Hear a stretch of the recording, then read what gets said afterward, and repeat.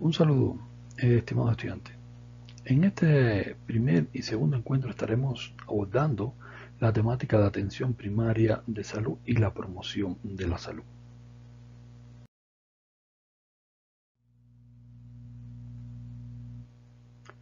Para hacer referencia a la atención primaria de salud, es importante remontarnos a la declaración de Amata.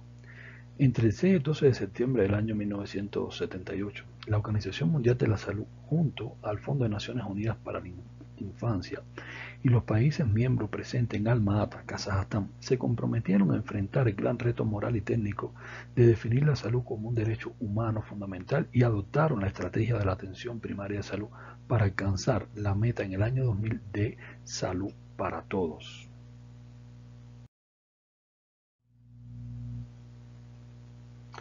En dicha mm, conferencia internacional, pues se definió evidentemente la atención primaria de salud, donde se hace referencia en esta declaración que la atención primaria en salud es la asistencia sanitaria esencial, basada en métodos y tecnologías científicamente fundadas y socialmente aceptables, puesta al alcance de todas las personas y familias de la comunidad mediante su plena participación y a un costo que la comunidad y el país puedan soportar en todas y cada una etapa de su desarrollo con un espíritu de autorresponsabilidad y autodeterminación. Se hace referencia además que la atención primaria de salud se considera el núcleo principal y el eje central de todos los sistemas de salud y que además va a repercutir en el desarrollo económico y social del país. Por otra parte, es en este caso pues el acercamiento del sistema de salud a donde las personas viven y trabajan. Se considera la mejor estrategia para alcanzar salud para todos y se apoya sobre todo en acciones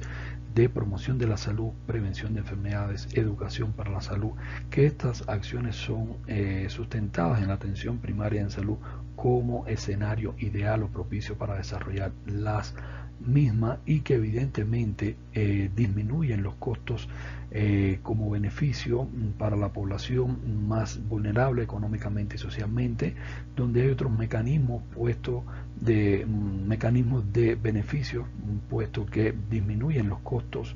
de la familia del sistema de salud, permite mantener saludable también a la población.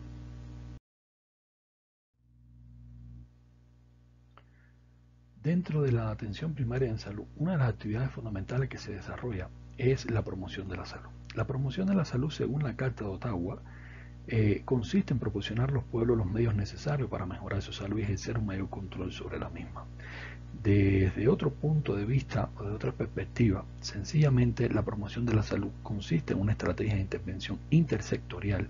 que busca la modificación de hábitos y estilos de vida en los individuos, las familias y las comunidades para un mejor estado de salud y calidad de vida. Para lograr esto, evidentemente se necesita el trabajo intersectorial, el apoyo de organismos e instituciones que entre todos se puedan involucrar para alcanzar la anhelada meta que busca la atención primaria en salud, que es salud para todos. Aún cuando esta primera conferencia de promoción de salud se desarrolló en el año 1986, se establecen las bases para el trabajo de la promoción de la salud que aún se encuentran vigentes.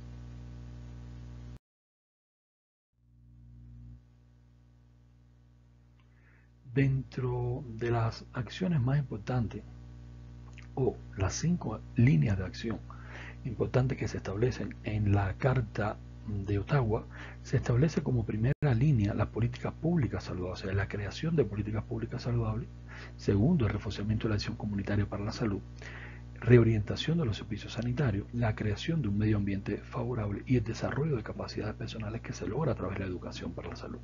Evidentemente, estas cinco líneas de acción son estrategias básicas que buscan la facilidad para todas las personas y en este caso, cuando se habla de facilitar para todas las personas, se habla de mediar a favor de la salud de todas las personas desde la atención primaria de salud y que tenga un soporte también o que tiene podemos mencionar la abogacía por la salud desde el punto de vista cívico, desde el punto de vista legal, que se establecen estas estrategias básicas. Estimados estudiantes, se les deja a continuación las referencias bibliográficas del tema a tratar.